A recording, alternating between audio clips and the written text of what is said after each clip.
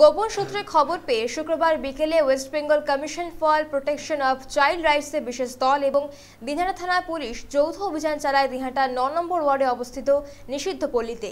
তল্লাশি চালায় কয়েকটি বাড়িতে এবং সেখান থেকে উদ্ধার করা হয় সাতজন নাবালিকা এবং সাতজন যুবতীকে। কোচবিহার জেলা সূত্রে খবর বেআইনিভাবে এই নাবালিকাদের নিষিদ্ধ পল্লীতে নিয়ে আসা হয়েছিল। এই ঘটনার সাথে বেশ কয়েকজনকে আটকও করা হয়েছে বলে জানা গেছে। প্রসঙ্গত দু মাস আগেও চাইল্ড লাইনে অভিযোগের ভিত্তিতে একদল নাবালিকাকে পুলিশ উঠিয়ে নিয়ে আসে এবং তারপর নিষিদ্ধ পল্লী বাসিন্দারা থানার সামনে অবস্থান বিক্ষোভে বসে। দুদিন আগে অভিযান চালানো হয় দিনহাটার এই নিষিদ্ধ পল্লীতে শুক্রবার প্রচুর পরিমাণ ফোর্স নিয়ে প্রথমে এই এলাকা ঘিরে ফেলা হয়, তারপর রাজ্য শিশু সুরক্ষা কমিশন এলাকায় ঢোকে এবং উদ্ধার করা হয় সাতজন নাবালিকা এবং সাতজন যুবতীকে। জানা যায়, নির্দিষ্ট অভিযোগের ভিত্তিতে এদিন অভিযান চালানো হয় এই যৌনপল্লীতে। তবে এর পেছনে কোনো বড় চক্র কাজ করছে কিনা সে সম্বন্ধে এখনও কিছুই জানা যায়নি প্রশাসনের পক্ষ থেকে। এখন এই যে ভিড়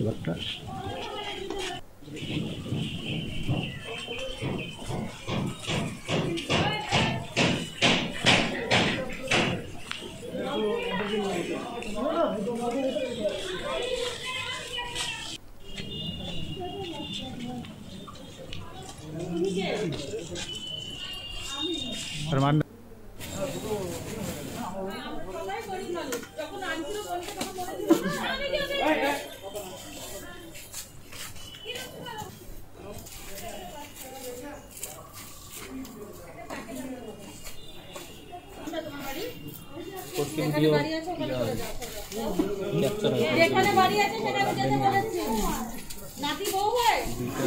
এর আগে